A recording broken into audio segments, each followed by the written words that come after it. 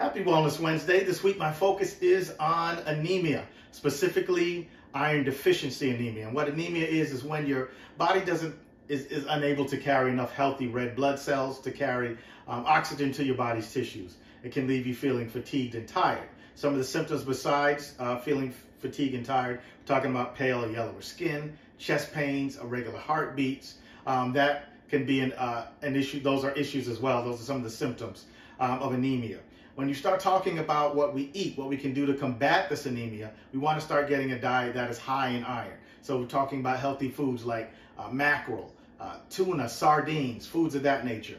Uh, plant-based foods like uh, legumes, um, pumpkin seeds, uh, foods like quinoa, uh, turkey is also high um, in iron. And then finally, your green leafy vegetables. So you want to make sure that you're getting plenty of spinach and plenty of broccoli. Those two foods in particular are very high in iron.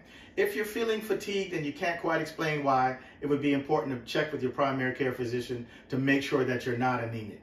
Until next week, this is Neale Davis again with Neale Davis Fitness, reminding you to be the very best version of yourself. And until next week, you have a great day.